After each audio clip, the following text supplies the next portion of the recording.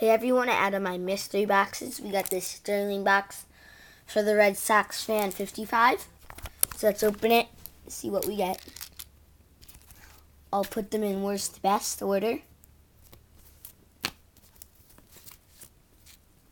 Yeah. Okay. First, you start off with a nice Charles Rogers jersey card. It's a chrome, so that's nice a Greg Olsen jersey card, a Nate Davis auto. This card actually books around 15. A triple auto with Mike Sims Walker, Courtney Taylor, and Paul Hubbard. That books 15. And the Herb Adderley um, auto. He's a Hall of Famer. So I hope you like the pack. I'm hoping to sell a few more. And peace out, guys.